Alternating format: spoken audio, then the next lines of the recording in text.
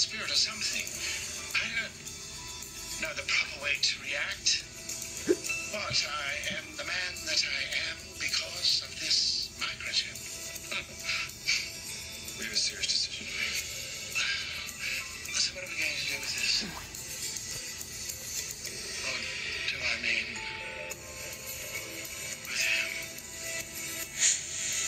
So, what did you do? Love my father in your own uh, very twisted way, so I suppose you have the right to know. Yes, well, like I said, Jake is just suspicious by nature. He doesn't trust anyone. Well, um, I mean, what ulterior motive could you possibly have for helping me plan the party? I have no idea. I just told him that um, I'm trying to make your life easier.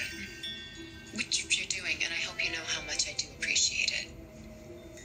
It's my job. Well, it's more than that. You're freeing me up to work, taking care of the kids, and you know, there's no way I could pull this party together if it weren't for your help. But believe me, I am really enjoying this. Really. In fact, I think I'm probably looking forward to this party more than anyone else.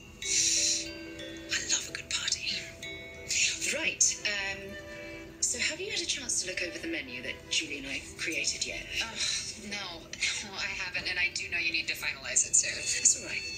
I know how much you've got going on, so tomorrow then, maybe. Yeah. Yes. Yeah. Abigail, something the matter? No, uh, no, I, ju- um, I just tomorrow is Sierra's memorial service. So. Dr. Evans, hi, it's it's me, Ben. Look, I need to warn you about something. Orpheus escaped from prison today, and there's a good chance he's back in Salem. Just please give me a call back when you get this message. Let me know you're okay. Please. Call me. I'm worried about you. Why the hell do you care so much about Marlena Evans?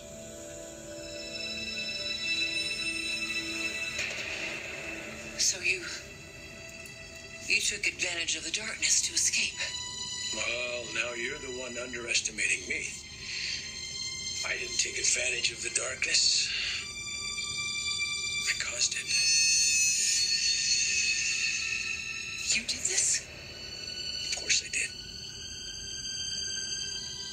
I brought the cloak of darkness down upon